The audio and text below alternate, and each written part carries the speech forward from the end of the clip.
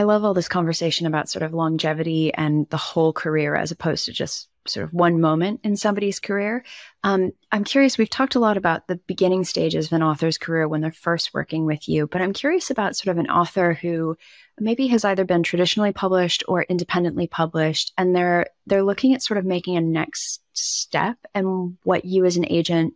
can kind of say to them about how working with an agent and and focusing on that long-term career can kind of help them move up in their publishing journey whatever that looks like for them yeah, I mean, and that is kind of a, a, time at which people might change agents, or just like their agent may have retired, they find themselves needing a new agent. Like those kinds of things can be quite a good reset. I do have a couple of writers um, who are more experienced, have been published before. Um, and it's a it's a kind of a bit of a reset because I won't have the same views as necessarily as their old agent, but also their career might just naturally be at a point where it needs a bit of a refresh, where it needs a bit of, uh, you know, and um, it's just about strategizing, I guess, with that author and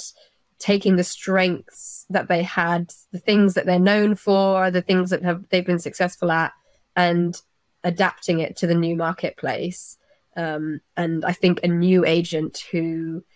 maybe you know it, it, tends to be if you're a new agent you are more familiar with some of the newer editors for example rather than having those older established relationships with older editors. So it's i think it can be like a fresh pair of eyes in so many ways and yeah it can really like revive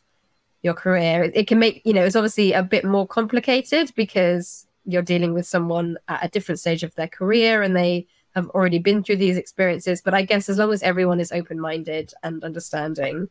then I think so in my experience those relationships can be really productive. Thanks for watching this clip from the History Quill podcast, all about writing and publishing historical fiction. If you want to find out more about the topics discussed, check the description for a link to the full episode and the episode page on our website, where you can access a range of relevant resources. You can also join our email list to receive new podcast episodes and more content for historical fiction writers. And of course, don't forget to like, subscribe, and switch on notifications.